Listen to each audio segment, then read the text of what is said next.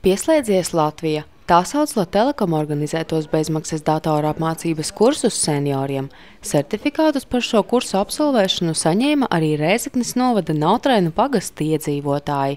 Paši viņi stāsta, ka jaunās prasmes tiks izmantotas gan biznesa vajadzībām, piemēram, projektu pieteikumu un grāmatvedības atskaišu sagatavošanai, gan izklēdēji. Mums ir saimniecība bioloģiskā, arī tur visus maksājumus var arī ar banku var norēķināties. Tas ir vajag labi, nevajag braukt uz pilsētu.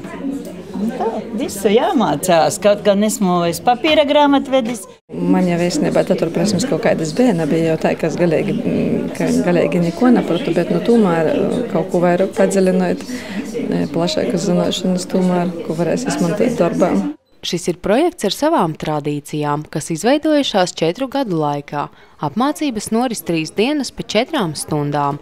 Iegūtās zināšanas cilvēku ikdienu padara ērtāku un kliedē viņos bailes no datoriem. Iespējams, tieši tāpēc atsaucība no senioru puses arvien pieaug. Arī Latgales iedzīvotāji izrāda lielu aktivitāti.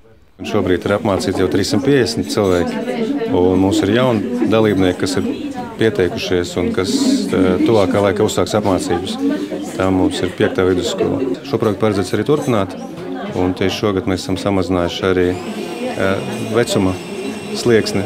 Šobrīd ir iespēja pieteikties apmācībām jau sākot no 50 gadiem. E, apmācības plānotas līdz novembra beigām šogad. Datora un interneta lietošanas prasmes Rogovkā tika apgūtas jau kopš vasaras sākuma, un skolotāja Ailita Mūrniece apmācījusi jau 32 seniorus. Šajos absolventos redzu un atpazīstu jau gan vecākus, gan vecvecākus. Jo gan skolas darbiniekus, Bērnskaļas pamatskolas pavārītes, kurām tūlīt, tūlīt novads dotu datoru un programmatūru, lai visu eh, pārtikas eh, produktu ēdienu kartes savadītu, rēķinātu datorā. Pieslēdzies Latvija norisē ir iesaistīti 90 skolotāji no visas Latvijas, kuri kopīgiem spēkiem līdz novembra sākumam īstenos mērķi palīdzēt 6000 senioru spērt pirmos soļus datorprasmju apguvē. Latgalē apmācības notiek 15 skolās, kur jaunas zināšanas ieguvuši teju 350 seniori.